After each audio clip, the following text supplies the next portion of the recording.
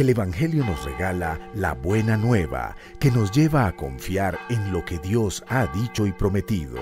Nos indica que en Jesucristo somos salvos y tenemos la vida eterna. El Centro de Comunicaciones de la Diócesis de Armenia les anuncia y predica el Evangelio de hoy. Del Santo Evangelio según San Juan. En la última cena, dijo Jesús a sus discípulos, Como mi Padre me ha amado, los he amado yo. Permanezcan en ese amor que les tengo. Si guardan mis mandamientos, permanecerán en mi amor, lo mismo que yo he guardado los mandamientos de mi Padre y permanezco en su amor.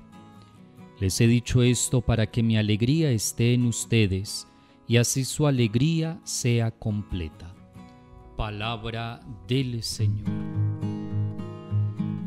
Con la metáfora de la vid y los sarmientos, Jesús invitaba a permanecer en él para poder dar fruto.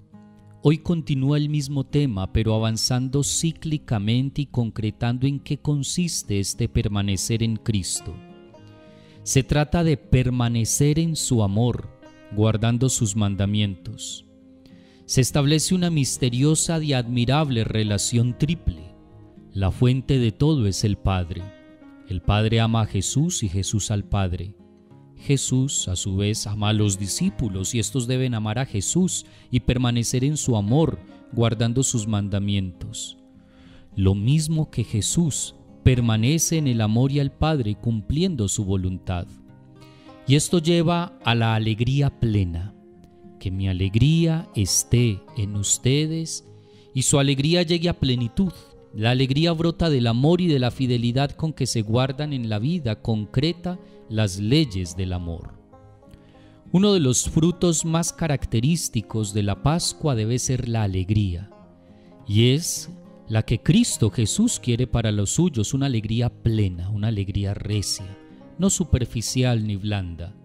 La misma alegría que llena el corazón de Jesús porque se siente amado por el Padre, cuya voluntad está cumpliendo aunque no sea nada fácil. Ahora nos quiere comunicar esta alegría a nosotros. Esta alegría la sentiremos en la medida en que permanecemos en el amor a Jesús, guardando sus mandamientos, siguiendo su estilo de vida, aunque resulte contracorriente. Es como la alegría de los amigos o de los esposos que muchas veces supone renuncias, sacrificios, o la alegría de una mujer que da a luz lo hace en el dolor, pero siente la alegría insuperable por haber traído una nueva vida al mundo.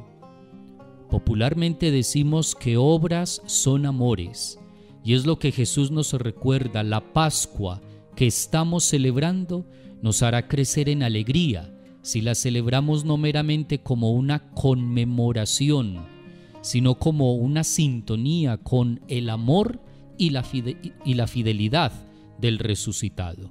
Entonces podremos cantar aleluyas no solamente con los labios, sino desde nuestro propio corazón.